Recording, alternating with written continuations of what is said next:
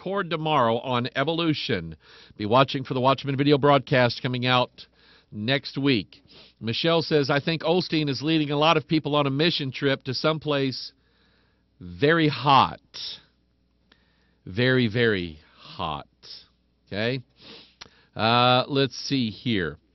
Jude asks the question in Exodus 33:11 when Moses spoke face to face with the Lord uh, was the Lord's face hidden from Moses or was Moses speaking with pre-Bethlehem Jesus Christ? Um, I would have to say that if he was speaking and, I, and I'd have to go back and look at this if he was speaking face to face with the Lord then he was doing the same thing that Abraham was doing and that is speaking face to face with the mediator between Father God in men, which has always been the man Jesus Christ. That that would be what I would say to that. Ray writes in, it's something, and this is this kind of caught my attention. It kind of troubles me a little bit. Pastor Mike, a preacher, prayed for me one time and said he was giving me an impartation. I felt something enter my stomach. It felt like a large marble or ball rolling around in a hollow tin barrel. I don't understand what this is all about, but over the years, too many people and ministers have laid hands on me. Ray, I'm going to encourage you don't ever, don't ever let another minister lay hands on you. Okay? Don't ever let them, you know, unless, you know, shaking hands or, you know, whatever, but to, to just give you this impartation, uh, you stay away if if you're around a circle of preachers or in a in a religious setting where that's what they do get out of that setting. Get stay away from these people. I had stan johnson of the club o prophecy want to after me telling him that god would not give me dreams and visions he looked at me and said i can give you that impartation if you want. And i said no he wanted to lay hands on me, and I said, No, absolutely not. You're not going to do that. Um, you don't need it. There, I, you just don't need it. You say, well, what about healing, Pastor Mike? Go again. Go back to the book of James. If one of you needs healing, he didn't say go to the pastor for for for a hands-on impartation. He said go to the elders, plural, and let them lay hands on you. And there's, I think there's something to that. Okay. So, anyway, I would get out of that crowd where everybody's laying hands on you, Ray, and uh, get this thing under the blood, all right? Uh, here is Edwin. So many questions, a little time from Edwin in Jakarta. Welcome, Edwin. Here's my first question Which scripture reference from KJV would you present to a gay person to effectively lead him to the truth in Christ? Well, let me let me say this, Edwin. Okay, there is no magic formula in the Bible. If if you pick such and such verse, they will get saved. Um, I would my first inclination would be I would want to go to Romans chapter 1 and then go after you're done with Romans chapter 1 go to Romans chapter 3 and then go to Romans chapter 6 and then Romans chapter 8 and Romans chapter 10. I mean I would just do a Romans road thing starting in Romans chapter 1 uh, concerning uh, those that um, uh, that God has given over up to uncleanness, okay, in uh, verse 24, to dishonor their own bodies between themselves. Um, likewise, also the men, leaving the natural use of the woman, burning their lust one toward another, with men working that which is unseemly, receiving themselves that recompense of their error which was meet. God calls it an error. And what you're doing is you're sowing seed into somebody's life with the Word of God. And if they won't listen, if they won't accept that, and you and you're doing it in love, I'm not talking about your um, Westboro Baptist Church out holding up a sign that says God hates fags. Um, you're sincerely going to this person in love. I sat next to at the hospital bed of a young man, uh, homosexual, who was dying of AIDS, and uh, I led him, and he he specifically asked for me to come there because he didn't he knew he was dying. He didn't want to go to hell. And I preached his funeral. I was there with him the night that he died. And I looked at, of course, his two former boyfriends were there too, and they were going, "We just think it's so wonderful that you're just so open. You'll come and be with him." And I said, "No, hang on a second here. Let me straighten something out for you guys." He called me, and I told him the story. He called me. He wanted to come out of the lifestyle that you guys have been in. He's not the same. I don't care what you think of him, he's not the same person. But anyway, I believe he got saved. and um, I I believe I'll see him in heaven. He was either lying through his teeth, but I believe that he I believe that he was saved. So just give him Romans chapter one, and then uh, give him the rest. Um, Vern in PA says instead of gold and silver, my wife and I decided to buy food. Can I come over to your house? Uh, if our neighbors and friends end up at our house for food, see that'll be me. Uh, we'll have to listen to the gospel. Otherwise, I think the money will all burn away. Praise the Lord. Watcher Doyle in Nederland says, For the love of money is the root of all evil. Amen. It is the, the, T H E, root of all evil, which while some covered it after they have erred from the faith and pierced themselves through with many sorrows. Think about what Jesus said concerning the thorns in Mark chapter 4. He called the thorns to the deceitfulness of riches. Did you know money will lie? It sure does. Langston writes an interesting question. Langston, you, I'm going to give you the, I'm going to give you the straight up answer. He asked the question. In the book of Enoch, he told his kids not to bury their gold but to share with the poor. Have you read the book of Enoch?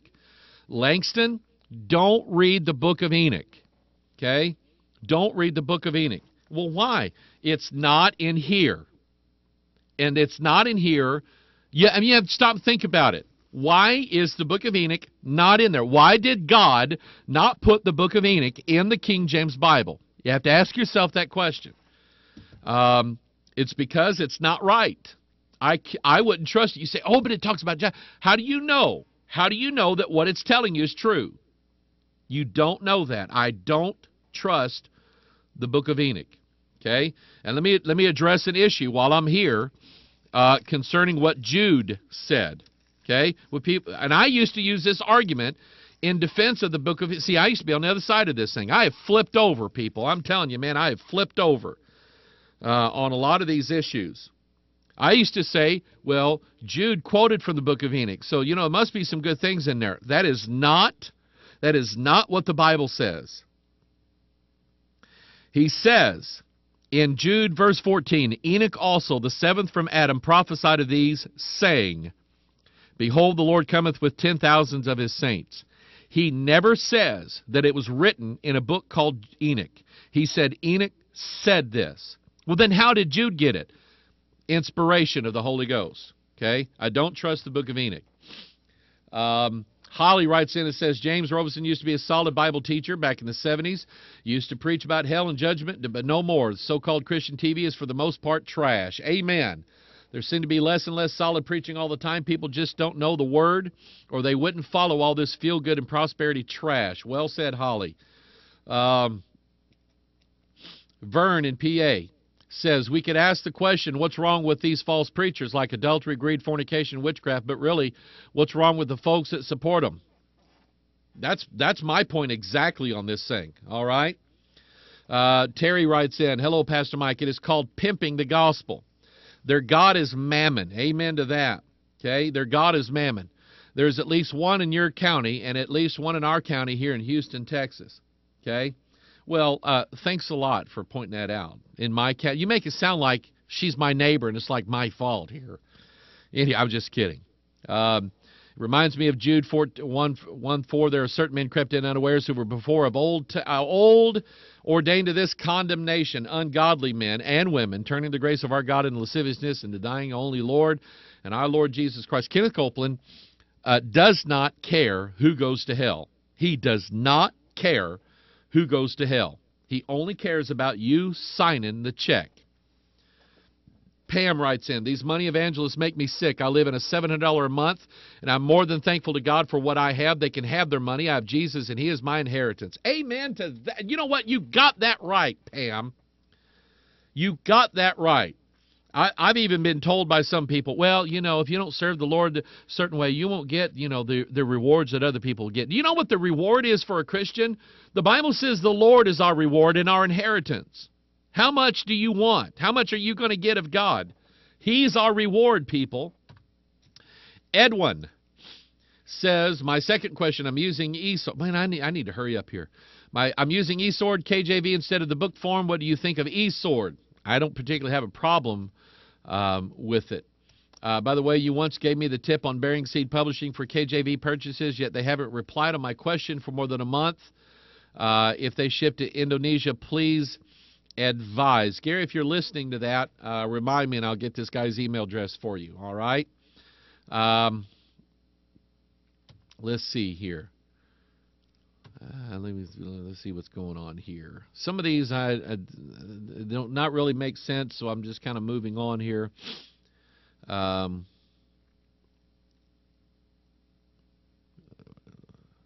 oh, Vert, I've used that already. Pastor Mike, I think he's used the Get Smart theme. I have that. I've used it before. Um, I've used that before. John says, Sons of God are angels. It's over, clear. Don't believe anything else. Amen to that.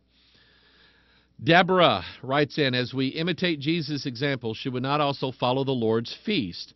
Let me, let me say this, okay? Uh, Jesus observed the feast of dedication in winter, and on and on and on, okay? Um, Jesus was a Jew. Now, I will say this as Gentiles, um, it does not hurt us to follow if we want to. Old Testament feast. It doesn't hurt anything. It doesn't make you a better Christian. It doesn't make you more saved than, than the people that don't. Um, we were given four specific commandments in the book of Acts by the apostles not to eat things strangled, not to eat things uh, with blood, uh, not to eat food sacrificed to idols, and not uh, to commit fornication. And they were dealing specifically with the question should the Gentiles, should the Gentile believers follow the law in order to be saved or to stay saved or to prove salvation? And the apostles met together in the book of Acts and they, they decided, and these men were being led by the Holy Spirit. If you have evidence to the contrary, I would like to see it, but it doesn't exist in the Bible. The apostles are gathered together by, by leading of the Holy Spirit, and they discerned among themselves.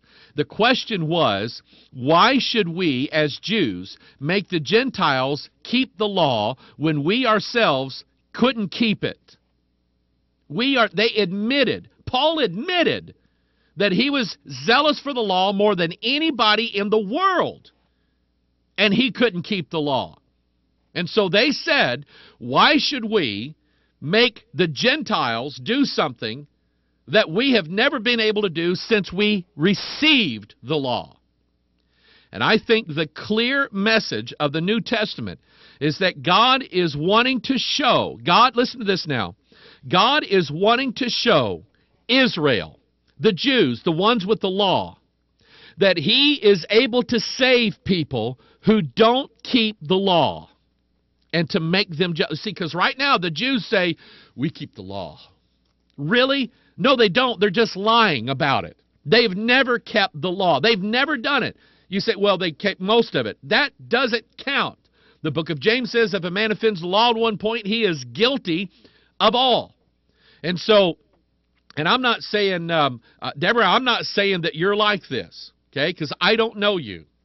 But I have had one encounter after another with legalistic, quote unquote, messianic, uh, pretend to be Jew Christians who always say, well, you got to keep the feast and you got to do this and you don't, you don't follow the Sabbath and you don't do this and you don't do that. And they come down in condemnation upon people who love the Lord, they love the King James Bible, they're repentant of their sins, they come down on them and say, You're not really saved because if you were, you'd be you'd be having uh, uh, Passover with us, or you'd be doing the Feast of Trumpets, or you'd be doing all this stuff. That's how you know you're really saved.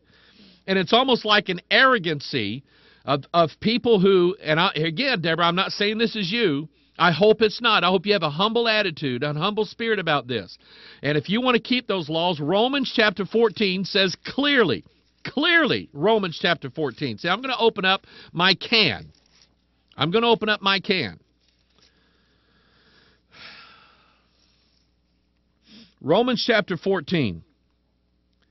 Him that is weak in the faith receive ye, but not to doubtful disputations. For one believeth that he may eat all things, another who is weak eateth herbs. And I've had people, I had people at a church one time surround me when I got done preaching and teaching, surrounded me and was chewing me out because I had mentioned that I had had a bacon cheeseburger before the meeting. And they were letting me have it over the law. They said, You can't do that.